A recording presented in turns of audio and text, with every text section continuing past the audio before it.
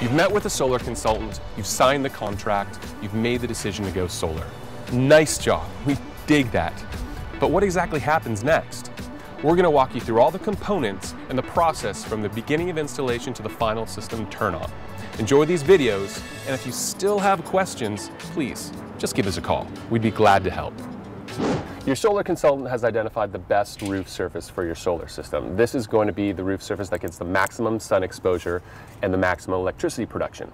Since solar panels will continue to make electricity for decades, it's really important that your roof have at least 10 years of life left on it. Otherwise, you can incur extra costs later on having to remove the panels and re-roof at that time. So play it smart, have a professional take a look to make sure that your roof has plenty of life left.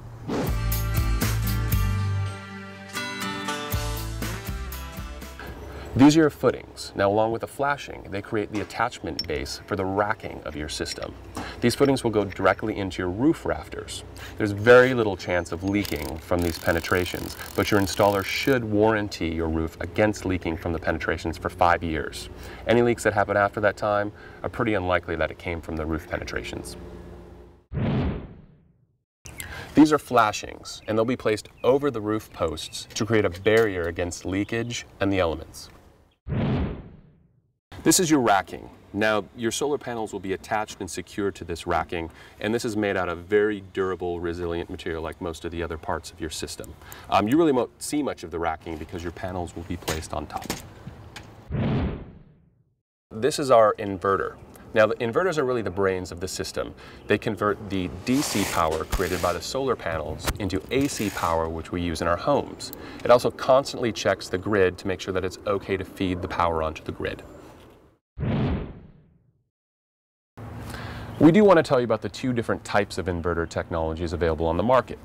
This is our traditional inverter. It's mounted near your main service panel. It feeds electricity into your panel for use. The good thing about a traditional inverter is they've been around forever. They get a long track record, they're proven. They're also less expensive than a microinverter. The challenge with traditional inverters is that traditional inverters require particular lengths of solar panels connected together, called strings. Now, these strings always have to be on the same roof pitch and the same orientation or direction. Each traditional inverter brand requires different string sizes for each brand of solar panel. So if you have a tricky roof with multiple roof slopes and multiple directions, you can see this can get very complicated when designing your system. If your solar company is charging you for that design, it might actually be a better idea to go with a microinverter.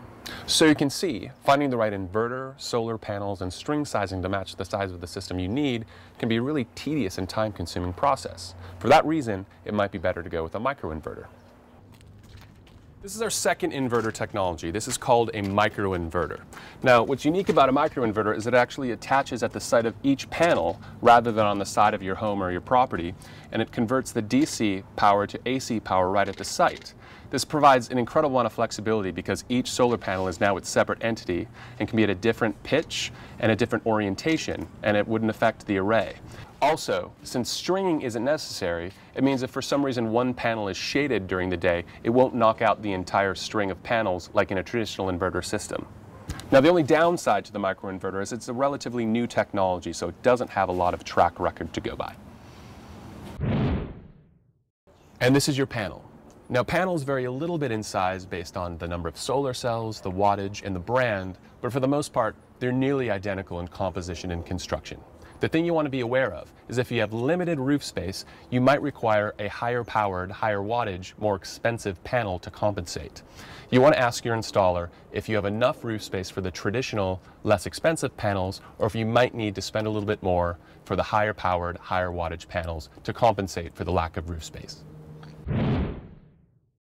And finally, your AC disconnect, which will be mounted next to your main service panel and allows you to turn off the solar array during maintenance or in case of emergency. That was a lot of information, so let's do a quick review of the essential components of the system. The footing, which attaches to your roof rafters and forms the base for the racking. The flashing, which slides over the footings and creates a barrier against the elements. The racking, the attachment structure for your solar panels.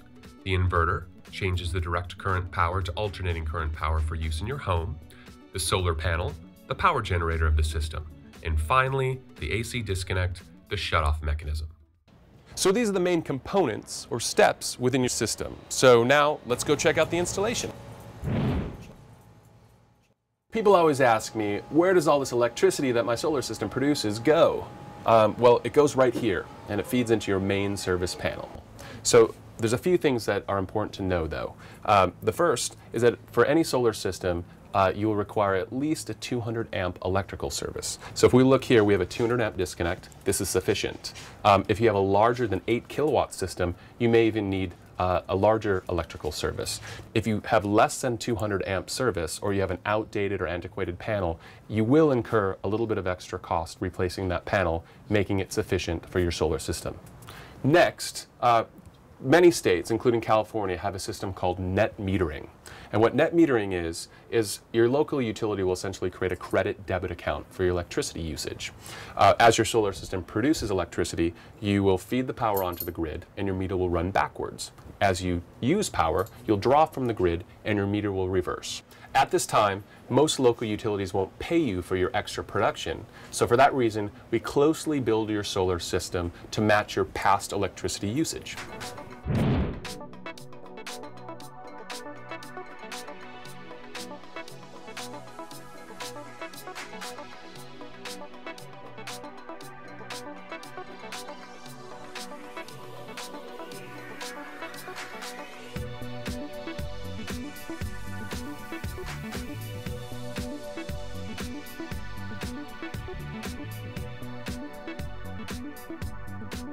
Thank you.